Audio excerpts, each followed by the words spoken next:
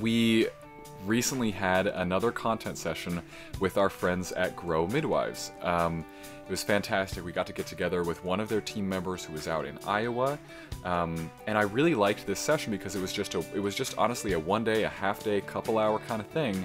Um, but what I love about their business is just like us, they're remote, and so we are like kind of a perfect fit for them because of all of our traveling that we do.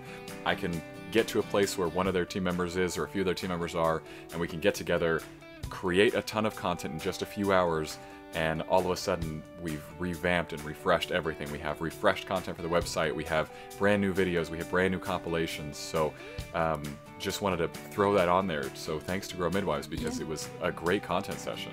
It kind of like it does work out nice that they're remote because like since we hit up different parts of their team members, they're like constantly getting like a little bit new content to add in to what they already have to just make this massive library of content for them.